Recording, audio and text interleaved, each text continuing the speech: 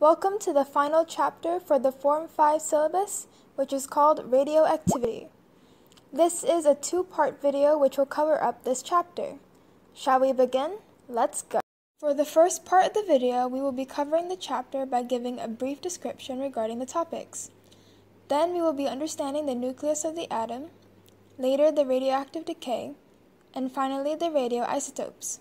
For the brief description regarding the topics, we have constructed a concept map which will give you a better understanding for today's chapter.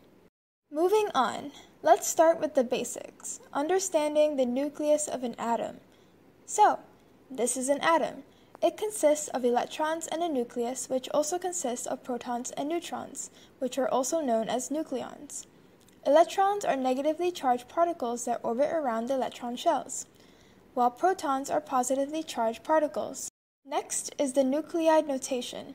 It consists of three things two numbers, one on top and one at the bottom, and a letter. The letter represents the symbol of the element. The top number shows the nucleon number, and the bottom number represents the number of protons. Proton number Z is defined as the number of protons in a nucleus while the nucleon number A is defined as the total number of protons and nucleons N in a nucleus. This is also known as the mass number. Moving on, isotopes are atoms of certain elements which have the same number of protons but different number of neutrons in the nucleus of the atom. Another interesting fact about isotopes is that even though they have the same chemical property, they have different physical properties. Still with us? Hope you're ready, because here comes a juicy one.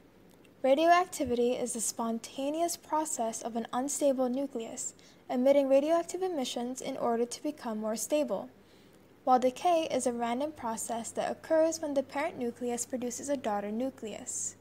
Next, we will discuss on the types and characteristics of radioactive emissions. The three that are known are the alpha particles, beta particles, and gamma rays. The characteristics of all three emissions can be seen clearly in this detailed table.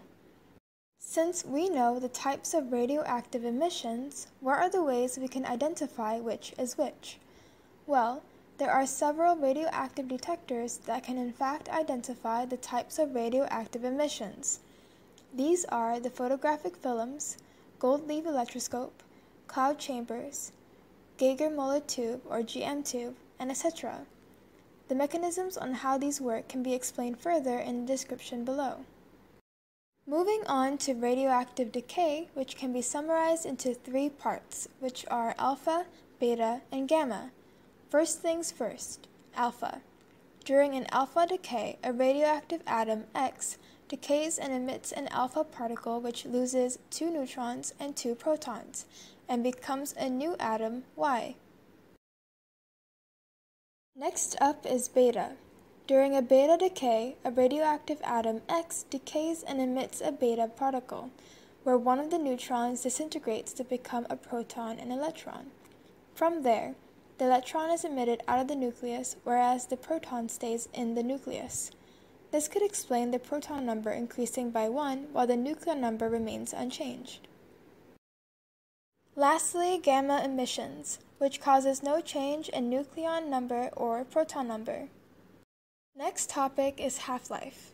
The half-life of a quantity subject to exponential decay is the time required for the quantity, meaning mass, number of atoms, or activity, to decay to half its initial value. This is a graph which can represent a half-life of a substance. Moving on, radioisotopes are isotopes with an unstable nucleus that have a tendency to decay. The application of it varies vastly from industries, medical fields, agriculture, and archaeology. To name a few, in archaeology, radioisotopes carbon 14 is used to study and estimate the age of ancient artifacts. This method is named as radiocarbon dating, which can be used to estimate the age of organic materials.